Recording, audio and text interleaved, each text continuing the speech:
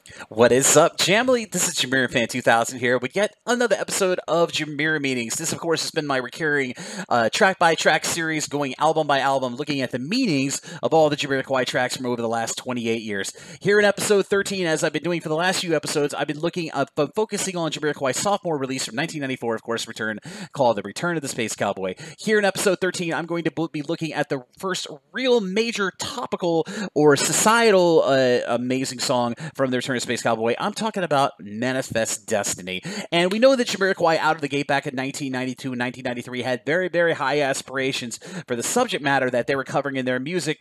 And it was very, very rare that they were actually able to find garner an amazing audience being so daring in uh, tackling the major environmental, societal, and human issues of planet Earth in their first two album releases. And on Manifest Destiny, Jamiroquai goes head in to looking at the dark period of human history called slavery, when um, a lot of uh, a lot of uh, going all the way back to the Roman era, and, and most notably, most recently in the 18, 17 to 1800s, about the open slavery that was very prevalent in the the United States and many parts of many other parts of the world, and about how that much that uh, period of uh, organized human trafficking or slavery was a very very dark period for human history, and about how how ridiculous and how under well how under Baruch the um, the slavery trade was, and about how you know eventually eventually slavery did get modestly obliterated from human society. It still does exist in certain different facets, but this is a very interesting song from Jamiroquai, and like I said, they, this band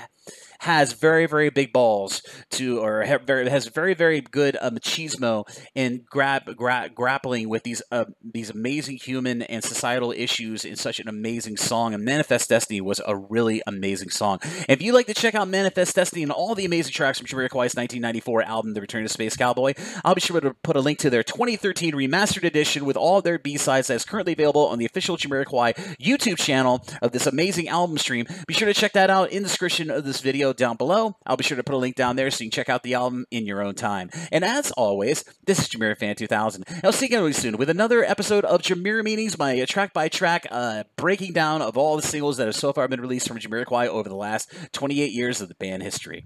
Bye bye, everybody, and stay safe.